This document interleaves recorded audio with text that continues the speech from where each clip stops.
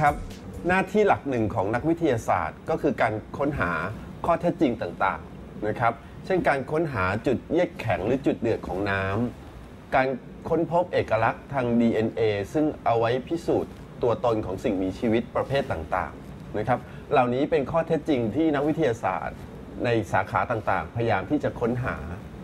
ในทางคณิตศาสตร์ก็เช่นเดียวกันนะครับ นักคณิตศาสตร์ก็จะพยายามค้นหาข้อเท็จจริงต่างๆ เกี่ยวกับคณิตศาสตร์นะครับ เช่นในเรื่องที่เรากำลังศึกษาอยู่ตอนนี้ก็คือเรื่องเซตนะครับ เราได้เคยพูดคุยกันถึงการดำเนินการต่างๆ ของเซตไม่ว่าจะเป็นการยูเนียนการอินเตอร์เซ็กชันการเอาเซตมาลบกัน การหาคอมพลีเมนต์ของเซตนะครับ การดำเนินการเหล่านี้เนี่ยก็มีข้อเท็จจริง มีเอกลักษณ์ หรือบางครั้งเราอาจจะเรียกว่าทฤษฎีบทที่น่าสนใจอยู่จำนวนหนึ่ง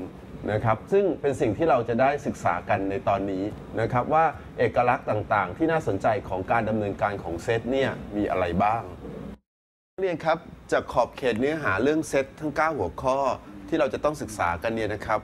ในตอนนี้เนี่ยเราก็จะศึกษากันใน 2 หัวข้อสุดท้ายนะครับ นั่นก็คือหัวข้อที่ 8 พูดถึงการดำเนินการ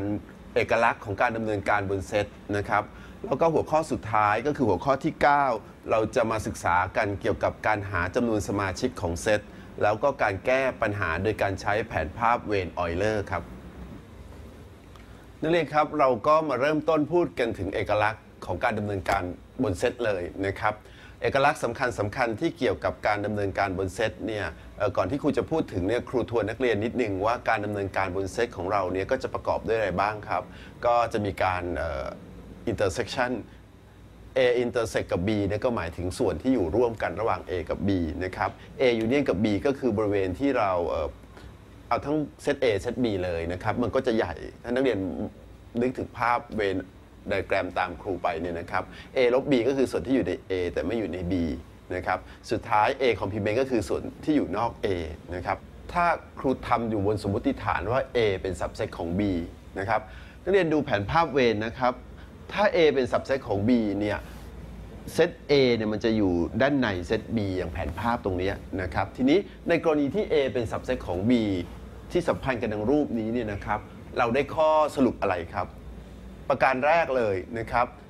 ถ้า A เป็น subset ของ B A union B A union B ก็คือเราเราเอาทั้งหมดทั้ง A ทั้ง B เนี่ยตรงบริเวณที่แรงเงาเนี่ยนักเรียนก็จะเห็นได้ว่า A union B เนี่ยก็จะได้ B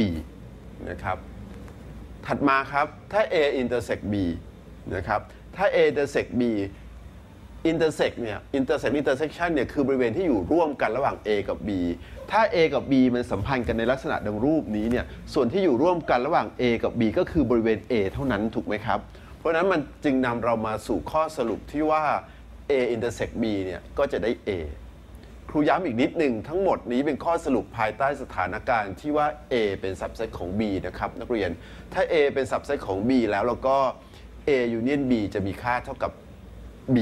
แล้วก็ A intersect B จะมีค่าเท่ากับ A ครับนักเรียนนั่นเองครับถัดมาก็เป็นเอกลักษณ์ที่3นะครับเอกลักษณ์ที่3เนี่ยบอกว่าถ้าเราเออเอาเซตว่างไปยูเนียนกับเซตไหนก็จะได้เซตเดิมนะครับก็คือเซตว่างยูเนียนกับ A จะได้ A ในทำนองเดียวกัน ถ้านักเรียนเอาเซตว่างไป intersect กับเซตใด ๆ ก็จะได้เซตว่างเสมอ ซึ่งอันนี้เนี่ยถ้านักเรียนนึกถึงนิยามของการ intersect นิยามของการอินเตอร์เซ t ชันเนี่ยนักเรียนก็จะทราบว่ามันเป็นจริง เพราะว่าส่วนที่อยู่ร่วมกันระหว่างเซตว่างกับ A เนี่ยมันต้องไม่มีแน่นอน เพราะว่าเซตว่างมันไม่มีสมาชิกเลยนะครับ อันนี้เป็นเอกลักษณ์ที่ 3 นะครับ นักเรียนเซตว่าง union กับเซตไหนก็จะได้เซตเดิมครับ เซตว่างไป intersect กับเซตไหนก็จะได้เซตว่างเสมอนะครับ ขณะที่เอกลักษณ์ที่4นะครับ ถ้านักเรียนเอา A ไปยูเนียนกับ Universe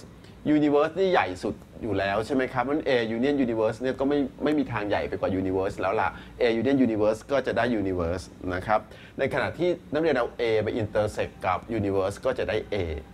นะครับเอกเอเอกลักษณ์พวกนี้เนี่ยพิสูจน์ได้ไม่ยากเพียงแต่ว่าถ้านักเรียนมีเวลานักเรียนลองวาดแผนภาพเวนออยเลอร์ดูเนี่ยนักเรียนก็จะเห็นได้ว่าเอกลักษณ์เหล่านี้เนี่ยเป็นจริงนะครับดูจากแผนภาพเวนออยเลอร์ก็ได้นะครับ เอกลักษณ์ที่ 5 ครับ อันนี้ก็ยังง่ายอีกนะครับ นักเรียนเอา A มา intersect A เนี่ยผลลัพธ์ก็ยังเป็น A ทำนองเดียวกันเซต A union เซต A ผลลัพธ์ที่ได้ก็คือเซต A นะครับ เอกลักษณ์ที่ 6 ครับ complement ของเซตว่างนะครับก็ต้องเป็น universe ใช่ไหมครับ สิ่งที่อยู่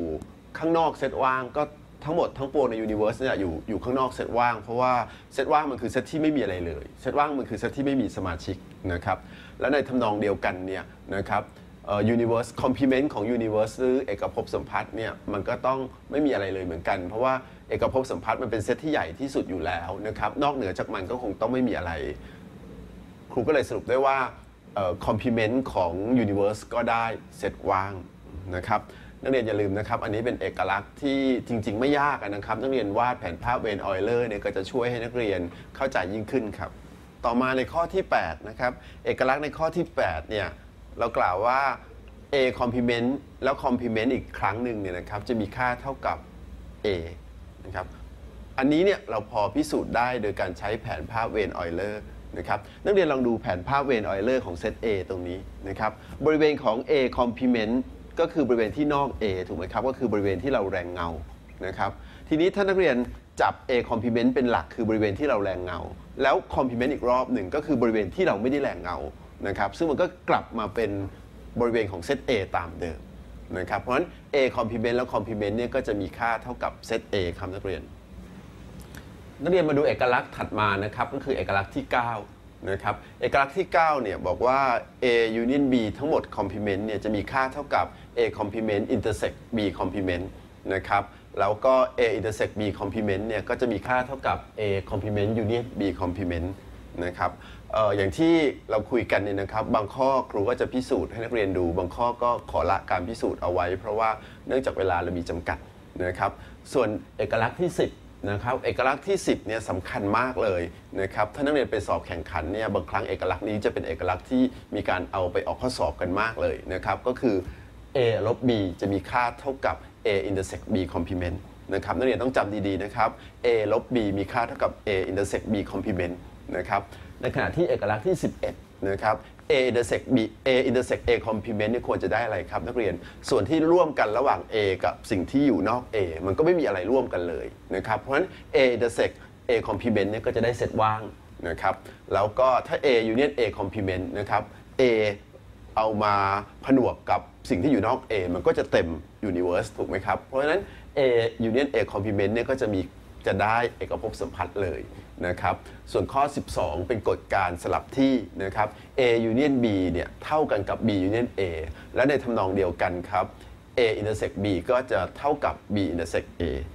นะครับข้อ 13 ครับ ยาวนิดหนึ่งนะครับ ข้อ 13 A union B นะครับ แล้วก็ union C นะครับวงเล็บแรกนะครับคือเวลาเราเขียน A union B แล้วใส่วงเล็บเนี่ยในทางปฏิบัติเนี่ยก็คือให้นักเรียนเอา A มา union B ให้เสร็จก่อน แล้วถึงเอาไป union C ทีหลังนะครับตรงนี้เองเนี่ยมันจะมีค่าเท่ากับนักเรียนเอา B มา union C ก่อน แล้วก็กลับมา union A อีกทีหนึ่งเขาเรียกกฎอันนี้ว่ากฎการจัดหมู่นะครับหรือในทำนองเดียวกัน A intersect B ก่อนแล้วไป intersect C เนี่ยก็จะมีค่าเท่ากับการที่นักเรียนเอา B มา intersect C ก่อนแล้วกลับไป intersect A นะครับอันนี้นักเรียนต้องไม่ลืมนะครับ เราเรียกมันว่า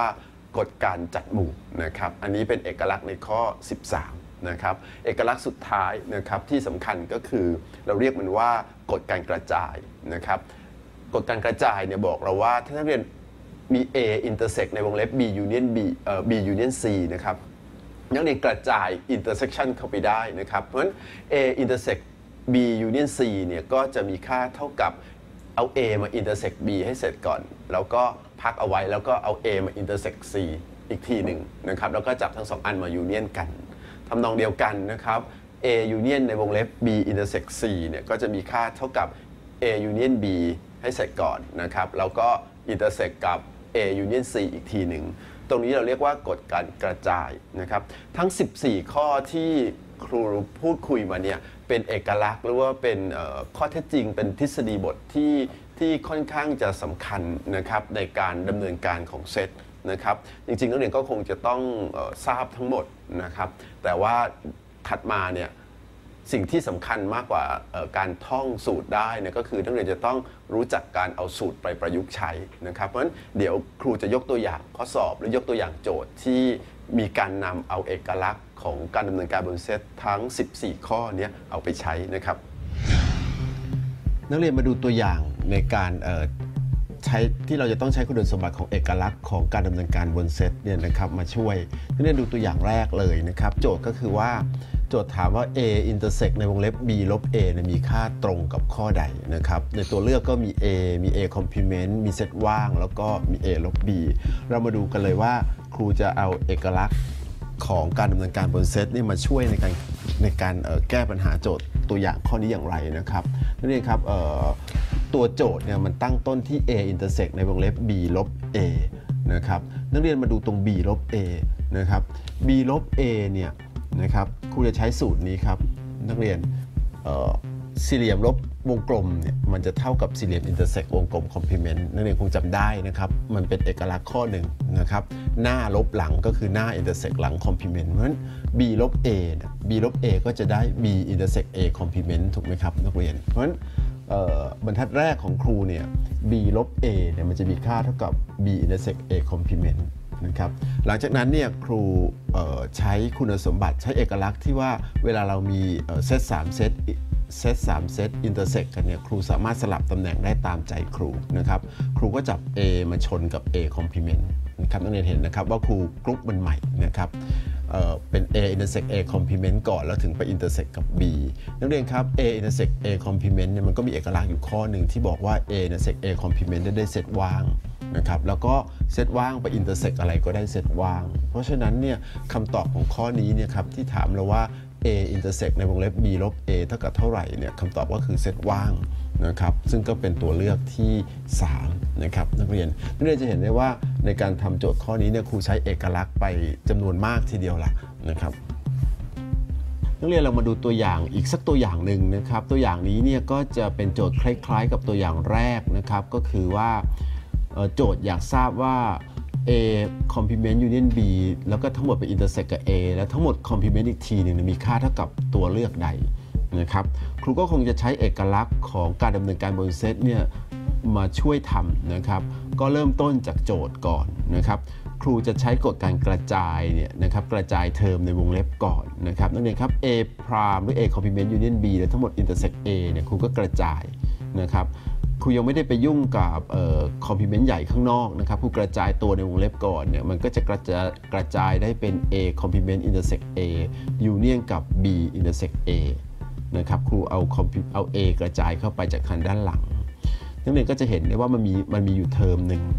นะครับมันมีอยู่เทอมหนึ่งที่เป็น A complement intersect A A complement intersect A เนี่ยมันก็จะได้เซตว่างนะครับแล้วเซตว่างไปยูเนียนกับเซตไหนก็จะได้เซตเดิม นะครับเพราะฉะนั้นคำตอบก็คือจะได้เป็น A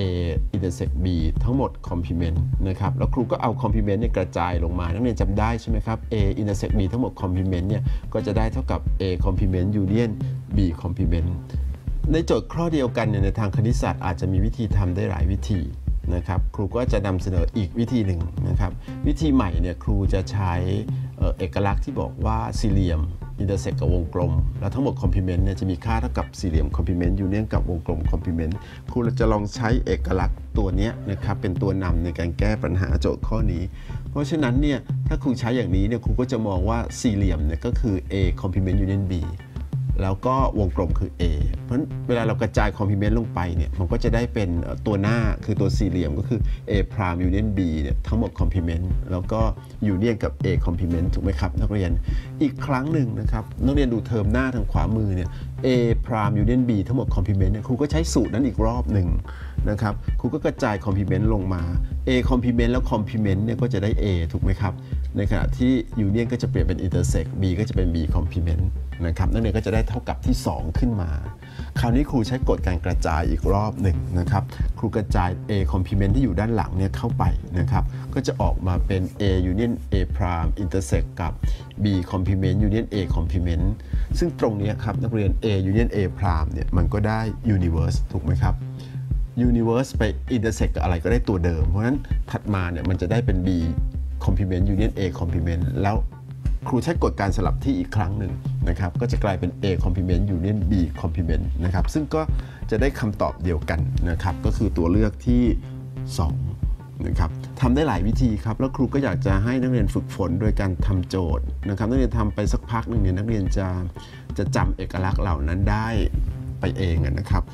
นักเรียนเรามาดูอีกสักตัวอย่างหนึ่งนะครับ ตัวอย่างนี้เนี่ยโจทย์กำหนดสถานการณ์มาว่า A เดซ B เท่ากับ A union B อันนี้เป็นสถานการณ์พิเศษ เพราะโดยปกติ A intersect B เนี่ยเป็นได้แค่ subset ของ A union B นะครับ ถ้าภายใต้สถานการณ์นี้เนี่ยข้อใดใน 4 ข้อนี้ถูกต้องนะครับ โจทย์ก็ให้ตัวเลือกมานักเรียนครับโดยปกติเนี่ยนะครับ A intersect B เนี่ยจะเป็น subset ของ A และ A ก็จะเป็น subset ของ A union B แต่ว่าเงื่อนไขพิเศษสำหรับโจทย์ข้อนี้ก็คือบอกว่า A union B เนี่ยมันไปเท่ากับ A intersect B ครับ เพราะฉะนั้นครูได้เออได้ได้ลูกโซ่มาอันหนึ่งที่ตั้งต้นซ้ายสุดด้วย A intersect B เป็น subset บ้างเท่ากับบ้างไปจบด้วย A intersect B ซ้ายสุดกับขวาสุดเนี่ยเป็นเซตเดียวกันคือ A intersect B ตรงนี้เนี่ยครูสรุปได้ว่าทุกอย่างมันต้องเท่ากัน เพราะฉะนั้นครูก็เลยสรุปได้ว่า A intersect B เนี่ยต้องเท่ากับ A แล้วก็ต้องเท่ากับ A union B นะครับนี่เป็นข้อสรุปที่ได้จากสมการข้างบน A เนี่ย sec B เท่ากับ A เท่ากับ A union B เพราะฉะนั้นข้อที่ถูกต้องก็คือข้อ4นะครับก็ได้ข้อ 4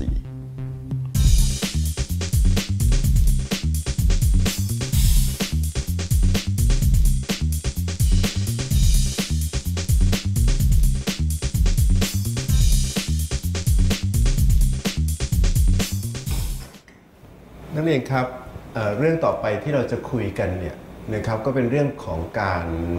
หาจำนวนสมาชิกของเซตนะครับ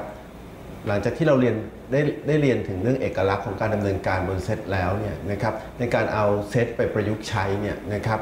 ส่วนใหญ่แล้วเนี่ยมันอาจจะขึ้นอยู่กับการหาจำนวนสมาชิกของเซต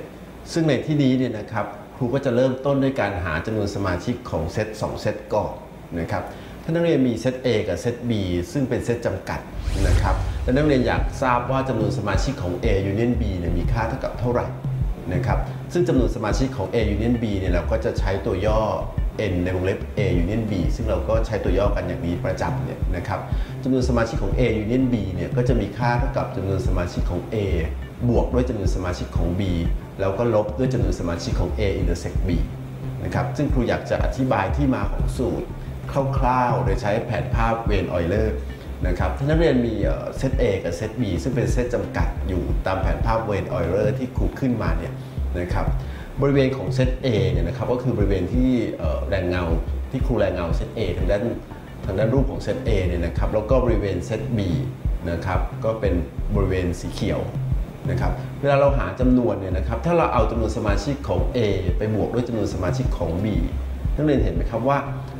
ถ้าการเอาจำนวนสมาชิกของ A ไปบวกด้วยจำนวนสมาชิกของ B เนี่ยนักเรียนบวกตรงบริเวณตรงกลางตรงสีเหลืองเนี่ยนะครับตรงสีเหลืองคือตรงที่ A intersect B เนี่ยนักเรียนบวกไป 2 รอบใช่ไหมครับ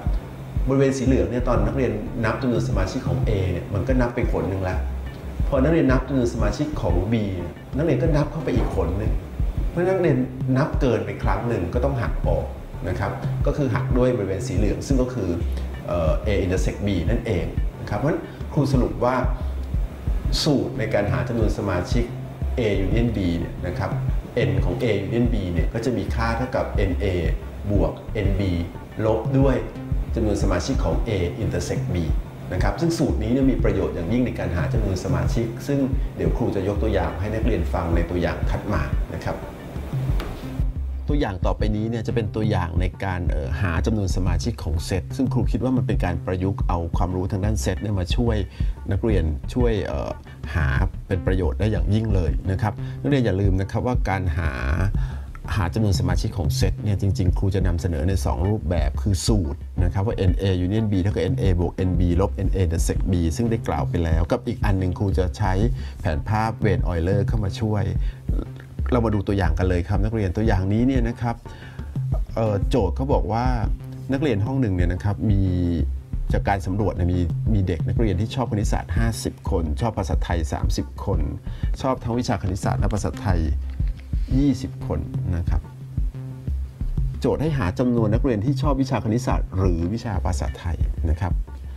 และกันหรือนักเรียนต้องให้ความสำคัญดีๆนะครับ ชอบคณิตศาสตร์และภาษาไทยคือชอบทั้งสองอย่าง แต่ถ้าคณิตศาสตร์หรือภาษาไทยเนี่ยอย่างใดอย่างหนึ่งก็ได้นักเรียนครับถ้าครูกำหนดให้ A คือเซตของนักเรียนที่ชอบวิชาคณิตศาสตร์และ B คือเซตของนักเรียนที่ชอบวิชาภาษาไทยเนี่ยนักเรียนก็จะทราบเลยจากข้อมูลของโจทย์นะว่า NA หรือจำนวนสมาชิกของเซต A ก็คือ 50 NB ก็คือจำนวนสมาชิกของเซต B ก็คือจำนวนสมาชิกของนักเรียนจำนวนนักเรียนที่ชอบวิชาภาษาไทยเนี่ยก็คือ 30นะครับแล้วก็ นักเรียนที่ชอบคณิตศาสตร์ และภาษาไทยก็คือเซต A แต่เซต B ถูกไหมครับ ซึ่งมีจำนวนสมาชิก N A intersect B เท่ากับ 20 ครูจะนำเสนอวิธีการแก้ปัญหา โดยการใช้แผนภาพเวนออยเลอร์นะครับนักเรียนก็วาดแผนภาพเวนออยเลอร์ซึ่งก็มีประกอบด้วยเซต A เซต B นะครับนักเรียนครับครูเริ่มต้นตรงบริเวณสีเหลืองในรูปแล้วกันนะครับบริเวณสีเหลืองคือบริเวณที่เซต A intersect กับเซต B นะครับนั่นก็คือจำนวนคือบริเวณที่ที่เป็นบริเวณที่นักเรียนเนี่ยชอบทั้งวิชาคณิตศาสตร์แล้วก็ชอบทั้งวิชาภาษาไทย ซึ่งซึ่งเราสรุปได้ว่ามีอยู่ 20 นะครับงั้นเราก็จะใส่ตัวเลข 20 ลงไปตรงบริเวณสีเหลือง ตรงบริเวณที่ A intersect B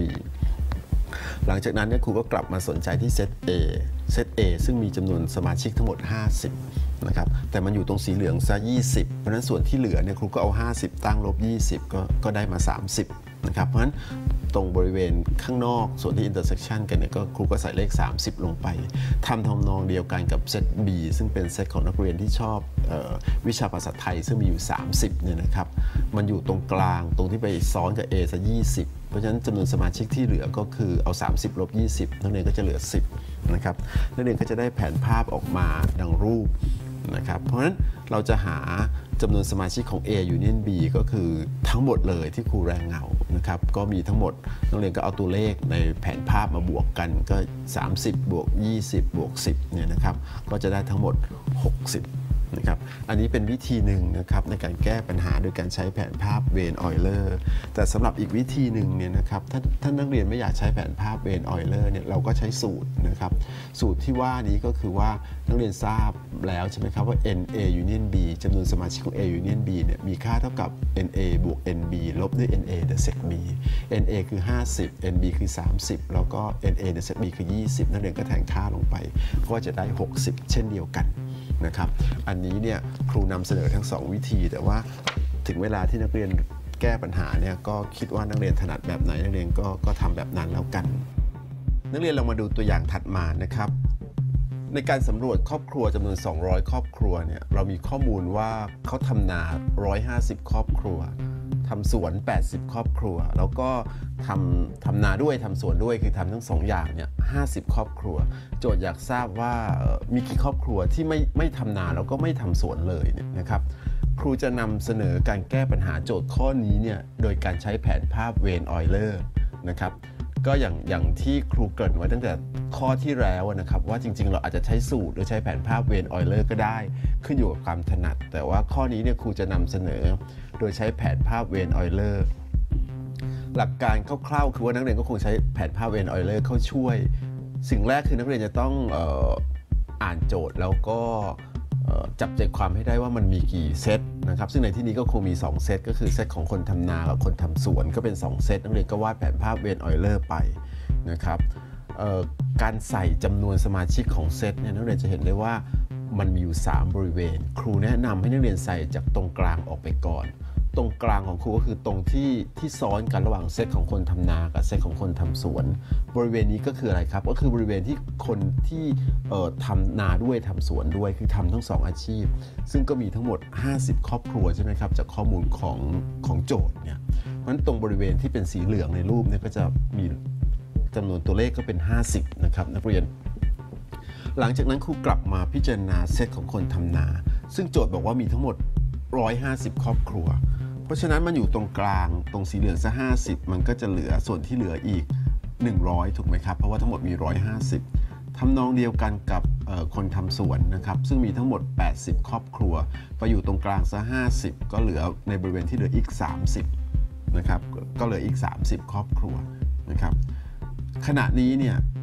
บริเวณที่แรงเงาในรูปเนี่ยนะครับมันก็คือบริเวณที่ทำนา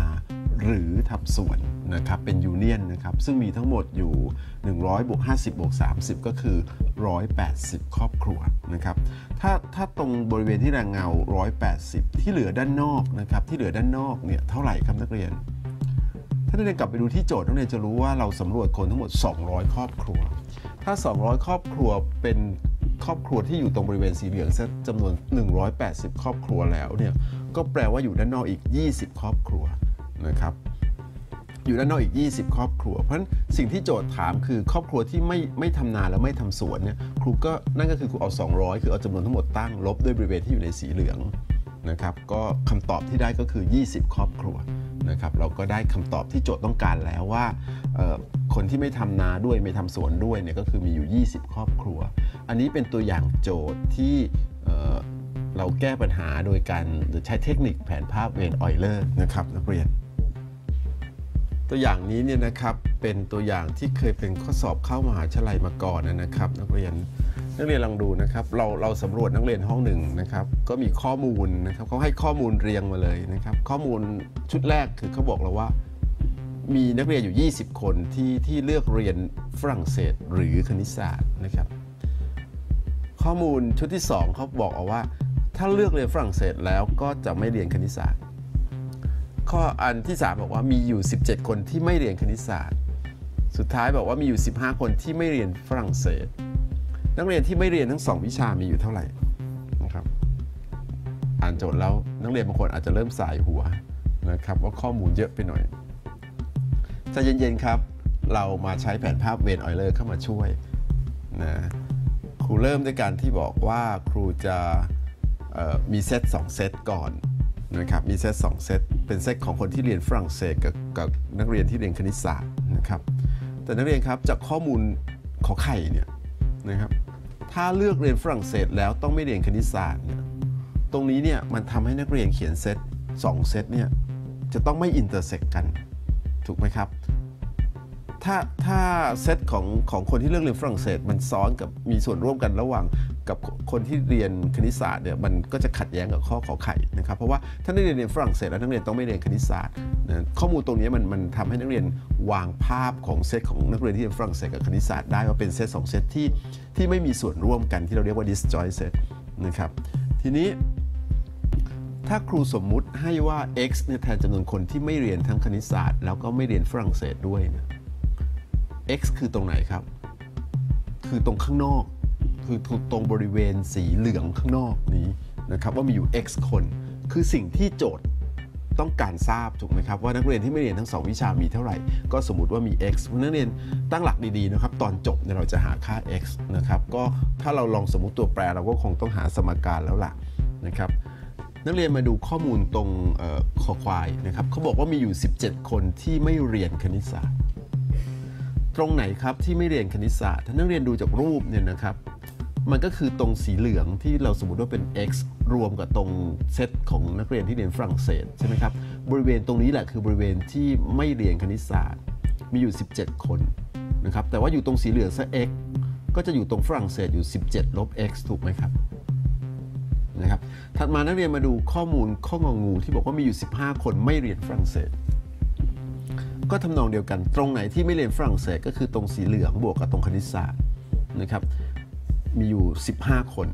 อยู่ตรงสีเหลืองซะ x เพราะฉะนั้นอยู่ตรงคณิตศาสตร์ก็ต้องเป็น 15 ลบ x นะครับมันครูสมมุติตัวแปร x มาตัวหนึ่งคือที่ไม่ชอบไม่เรียนทั้ง 2 วิชา แล้วครูก็ใส่จำนวนจำนวนสมาชิกของแต่ละเซตไปเรียบร้อยแล้วในแผนภาพเวนออยเลอร์แต่ว่ามันติดอยู่ 1 ตัวแปรคือตัวแปร x ในการที่จะแก้สมการหาตัวแปร x นั่นเองก็คงจะต้องหามาสักหนึ่งสมการละครับ นักเรียนมีวิธีหนึ่งคือตรงไหนข้อมูลโจทย์ตรงไหนที่นักเรียนยังไม่ได้ใช้นะครับถ้านักเรียนกลับไปดูเนี่ยนักเรียนจะรู้ว่าข้อกอไก่นักเรียนยังไม่ได้ใช้ประโยชน์จากข้อมูลข้อกอไก่เลยที่บอกว่ามีอยู่ 20 คนที่เลือกเรียนฝรั่งเศส หรือคณิตศาสตร์มีอยู่ 20 คน ถ้านักเรียนดูจากแผนภาพเวนออยเลอร์ของเราเนี่ยตรงไหนครับที่เลือกเรียนฝรั่งเศส หรือคณิตศาสตร์ก็คือตรง 17 ลบ x รวมกับตรง 15 ลบ x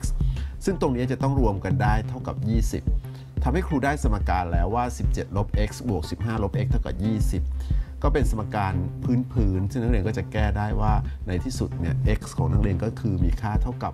6นักเรียนก็จะตอบครูได้แล้วนะครับว่านักเรียนที่ไม่เรียนทั้ง 2 วิชาเลยเนี่ยก็คือมีจำนวนเท่ากับ6นะครับแล้วเราก็เอา x ไปแทนค่านะครับเพราะฉะนั้น จริง ๆ ถ้าโจทย์ถามอย่างอื่นนักเรียนก็ตอบได้อย่างเช่นว่ามีนักเรียนที่ชอบเรียนฝรั่งเศสกี่คนก็คือ 11 คน นักเรียนที่ชอบเรียนคณิตศาสตร์กี่คนนักเรียนแทนค่า x ลงไปคำตอบก็คือ 9 คนนะครับอันนี้เนี่ยนะครับอาจจะยากสักนิดนึงแต่ว่าเป็นการประยุกต์แผนภาพเวนออยเลอร์ในการช่วยช่วยเราหาจำนวนของสมาชิกนะครับ นักเรียนครับในตัวอย่างถัดมาเนี่ยนะครับก็จะมีความซับซ้อนมากขึ้นกว่า 2-3 ตัวอย่างเดิมที่ครูพูดไปนะครับความซับซ้อนที่เกิดขึ้นก็คือว่าจากตัวอย่างเรื่องการหาจำนวนสมาชิกที่ผ่านมาเนี่ยเรามักจะคุยกันแค่ 2 เซตนะครับแต่คราวนี้เนี่ยตัวอย่างของครูเนี่ยจะเป็น 3 เซตนักเรียนลองสังเกตตัวอย่างต่อไปนี้นะครับ ในการที่ผลสำรวจครอบครัวที่ทำเกษตรกรรมเนี่ยนะครับ 200 ครอบครัวเนี่ย ก็จะปรากฏว่ามันมีอาชีพนะครับทำนาทำไร่แล้วก็ทำสวนนะครับ เป็น 3 อาชีพนะครับ เพราะมันจะมี 3 เซตแล้วคราวนี้นะครับ แต่ละอาชีพมีกี่ครอบครัวเนี่ยก็ก็ในแบบสำรวจก็มีข้อมูลมาให้นะครับ อย่างเช่นว่ามีทำนาอยู่ 60 ครอบครัวนะครับทำไร่อยู่ 80 ครอบครัวทำสวน 100 ครอบครัวนะครับทำนาและทำไร่ 40นะครับ ทำนาและทำสวน กับทำสวนและทำไร่เนี่ยมีจำนวนเท่ากันคืออย่างละ 30 แล้วสุดท้ายเลยจากข้อมูลที่ได้เนี่ยนะครับก็คือทำทั้ง 3 อย่าง ทั้งทำนาทำไร่ทำสวนเนี่ยนะครับก็มีอยู่ทั้งหมด 20 ครอบครัวนะครับเ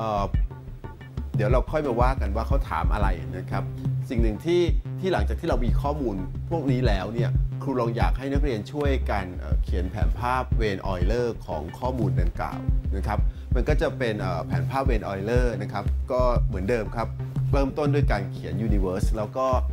คราวนี้มีเซต3เซตนะครับทางซ้ายมือสุดของนักเรียนเนี่ยก็จะเป็นเซตของคนที่ทำนา นะครับ ถัดมาตรงนี้ก็จะเป็นเซตของคนที่ทำไร่ แล้วก็ล่างสุดจะเป็นเซตของที่ของเกษตรกรที่มีอาชีพทำสวนนะครับ นักเรียนจะเห็นคล้ายๆเออ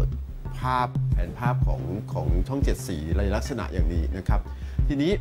ครูมีเทคนิคนะครับในการที่จะเติมแต่ละบริเวณนะครับ ซึ่งนักเรียนจะเห็นได้ว่าตรงนี้เนี่ยทั้งหมดมันมี 7 บริเวณนะครับ เราจะเติมยังไงนะครับ เทคนิคหนึ่งที่ที่ครูขอแนะนำก็คือว่า เรามักจะพยายามเติมจากข้างในสุดก่อนนะครับ ข้างในสุดมันเป็นบริเวณที่ทับซ้อนทั้ง 3 อาชีพ ถูกไหมครับสามเซตมาอินเตอร์เซ็กชันกันอยู่เนี่ยถ้าแปลความออกมามันก็คือบริเวณที่ทำนาทำไร่และทำสวน ครูถามนักเรียนว่าทำนาทำไร่และทำสวนมีทั้งหมด กี่ครอบครัวครับนักเรียนก็ไปดูข้อมูลนะครับ เราทราบเลยว่ามีอยู่ 20 ครอบครัวเพราะตรงบริเวณที่ซ้อนกันบริเวณสีขาวนี่ก็จะมีอยู่ทั้งหมด 20 ครอบครัวนะครับนักเรียนก็ใส่ตัวเลข 20 ลงไปนะครับ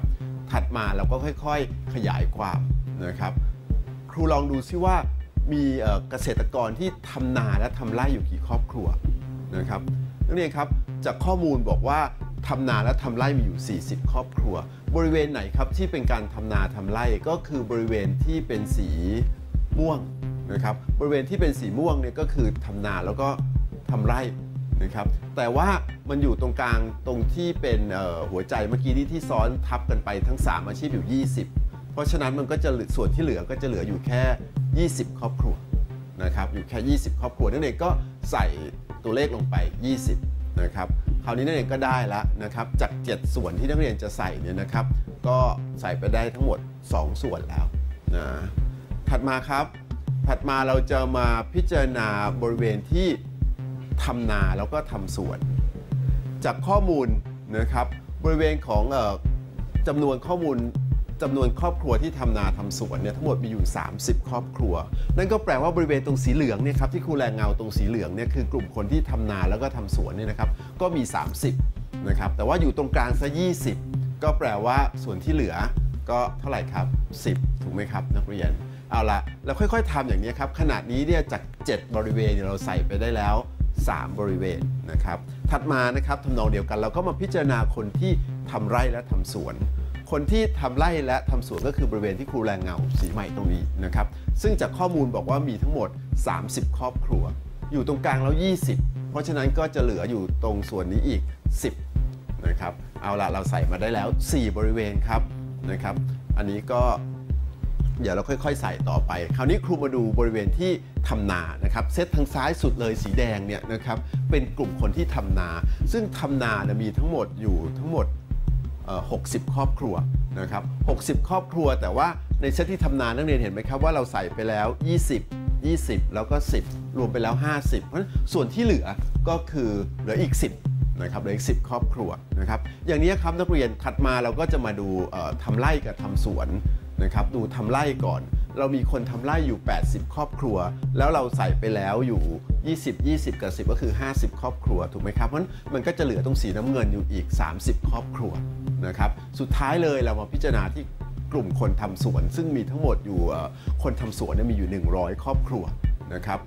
ใส่ไปแล้ว 40 ครอบครัวถูกไหมครับ ก็เหลือทั้งหมดเอา 100 ตั้งลบ 40 ก็เหลือ 60 ครอบครัว คือตรงบริเวณสีเขียวนะครับเพราะฉะนั้นเนี่ยครูสามารถเติมได้ทุกส่วนแล้วครบนะครับ ไม่ว่าโจทย์จะถามอะไรเนี่ยเราก็จะตอบคำถามนั้นได้จากแผนภาพเวนออยเลอร์ที่เราเขียนเอาไว้ เอาละเรามาดูสิครับว่าโจทย์เขาถามอะไรเรานะครับ สิ่งที่โจทย์ถามนะครับ ข้อแรกเลยนะครับ มีกี่ครอบครัวที่ทำนาหรือทำสวนทำนาหรือทำสวนก็คือบริเวณที่ครูแรงเงาสีแดงนะครับนักเรียนก็บวกไปเลยครับ ตรงสีแดงที่ครูแรงเงาเนี่ยมีอะไรทั้งหมดกี่คนตรงไหนบ้างนักเรียนบวกไปเลยก็ บวกออกมาเลขทั้งหมดเนี่ยนะครับก็จะได้ทั้งหมด 130 ครอบครัวตรงสีแดงนักเรียนลองบวกเช็คอีกทีหนึ่งนะครับว่าครูบวกถูกไหมนะครับคำถามที่2นะครับคำถามที่2เขาถามว่ามีกี่ครอบครัวที่ทำนาหรือทำสวนหรือทำไร่นักเรียนครับเวลาเราเรียนคณิตศาสตร์เนี่ยหรือหรือคำว่าและเนี่ยความหมายมันต่างกันนะครับหรือก็คือว่าทำอะไรก็ได้ ถ้าถ้าในเรื่องของเซตก็หมายถึงการยูเนียน นะครับเพราะฉะนั้นทำนาหรือทำไร่หรือทำสวนก็คือทั้งหมดเลยเนี่ยครับว่ามีเท่าไหร่นะครับก็คือบริเวณเฉดสีที่ครูแรงเงาทั้งหมด 3 วงเนี่ยนะครับนักเรียนก็บวกเลขนะครับนักเรียนบวกเลขทั้งหมดลงมาเลยนะครับนักเรียนลองบวกตามครูนะครับครูบวกได้ทั้งหมด 160 ครอบครัวนะครับเพราะฉะนั้นทำนาหรือทำสวนหรือทำไร่ก็ 60นะครับเอาละคำถามข้อที่3นะครับข้อที่ 3 ถามว่ามีกี่ครอบครัวที่ เรียกว่าไม่ประกอบอาชีพเลยนะครับคือไม่ทำทั้งนาไม่ทำสวนแล้วก็ไม่ทำไรตรงไหนครับ ที่ไม่ได้ทำสักอาชีพหนึ่ง ก็คือบริเวณรอบนอกนะครับบริเวณรอบนอก ครูจะหายังไงล่ะครับนักเรียนต้องอย่าลืมว่าเราสำรวจครอบครัวทั้งหมด 200 ครอบครัวนะครับเราสำรวจครอบครัวเกษตรกรทั้งหมด 200 ครอบครัวใน 3 เซตเมื่อสักครู่นี้ในข้อ2เนี่ยเรารวมไว้ได้แล้ว 160 ครอบครัว นะครับเพราะฉะนั้นส่วนที่อยู่ข้างนอกนะครับส่วนที่อยู่ตรงบริเวณแรงเงาข้างนอกก็คือ 200ลบ160 ก็คือ 40 ครอบครัว เพราะฉะนั้นเกษตรกรที่ไม่ทำสักอย่างหนึ่งเลยเนี่ยนะครับก็มีทั้งหมด 40 ครอบครัวนะครับมีอยู่ทั้งหมด 40 ครอบครัวนะครับอันนี้ก็เป็นตัวอย่างนะครับการทำแผนภาพเวนออยเลอร์ในกรณีที่มีเซตในการ ในการประกอบข้อมูลเนี่ยสามเซตนะครับจริง ๆ ถ้านักเรียนเรียนต่อในระดับสูงเนี่ยจริง ๆ จะเป็นกี่เซตก็ได้นะครับและอันนี้เนี่ยด้วยด้เงื่อนเวลาเนี่ยเรามีเวลาจำกัดครูก็นำเสนอด้วยการใช้แผนภาพเวนออยเลอร์ เรียนครับถ้านักเรียนต้องการหาจำนวนสมาชิกของเซตโดยการใช้สูตร ไม่ได้ใช้แผนภาพเวนออยเลอร์อย่างที่ครูยกตัวอย่างไปเนี่ยนะครับ เราก็มีสูตรให้นักเรียนใช้ 2 สูตรต่อไปนี้นะครับ สูตรแรกในกรณีที่นักเรียนหาแค่ 2 เซตเนี่ยนะครับ เราก็จะใช้สูตรที่บอกว่า NA union B เนี่ยจะมีค่าเท่ากับ NA บวก NB ลบด้วย NA intersect B นะครับ ในกรณีของ 3 เซตนะครับ เราก็จะใช้สูตร NA union B union C เนี่ยจะมีค่าเท่ากับ NA บวก NB บวก NC ลบด้วย NA intersect B ลบด้วย NA intersect C ลบด้วย NB intersect C แล้วนักเรียนก็บวกกลับด้วย NA intersect B intersect C ครับ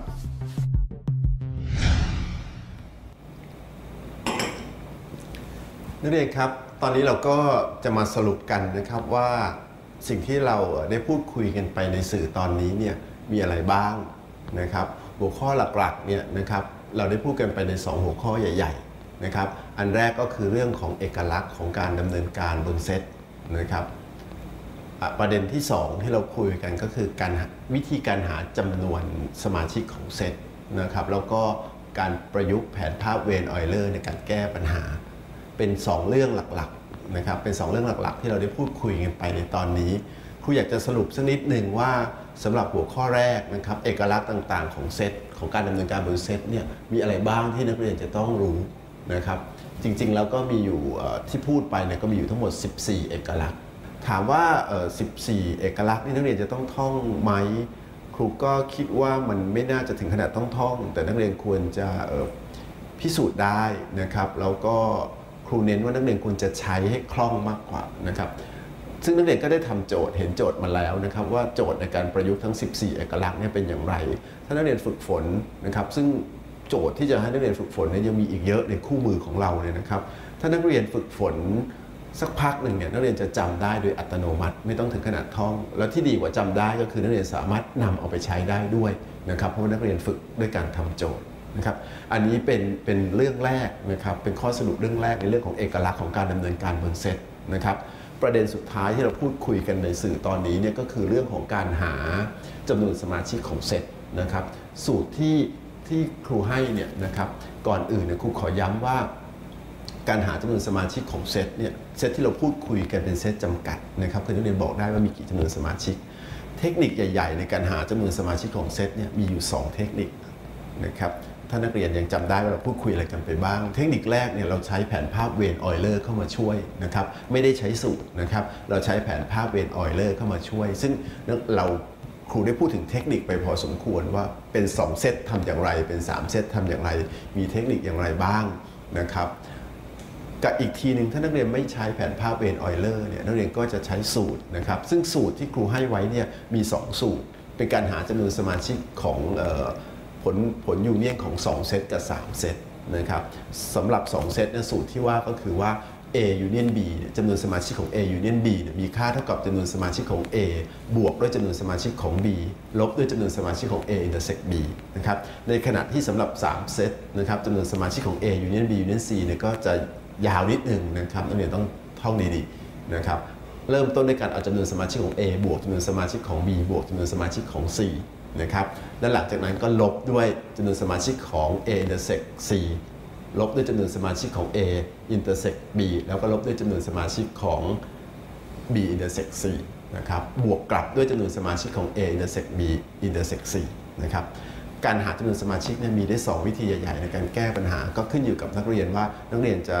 จะถนัดอย่างไรนะครับ ทั้งหมดเป็นสาระสำคัญที่เราพูดคุยกันในสื่อตอนนี้นะครับนักเรียน แต่อย่าลืมนะครับว่าในสื่อเรื่องเซตเนี่ยเรายังมีสื่อปฏิสัมพันธ์ให้นักเรียนลองฝึกฝนอีกนะครับสื่อปฏิสัมพันธ์เนี่ยคณะจัดทำเนี่ยได้ได้ค้นคิดขึ้นมาเป็นเอ่อเป็นนวัตกรรมที่ที่ให้นักเรียนได้ฝึกฝนนะครับนักเรียนจะสนุกสนานกับการใช้สื่อปฏิสัมพันธ์ นักเรียนจะสามารถโต้ตอบ แล้วก็ลองทำแบบฝึกหัดได้เองนะครับครูแนะนำให้นักเรียนลองเข้าไปใช้สื่อชุดนี้ ในส่วนที่เป็นปฏิสัมพันธ์ดูด้วยนะครับ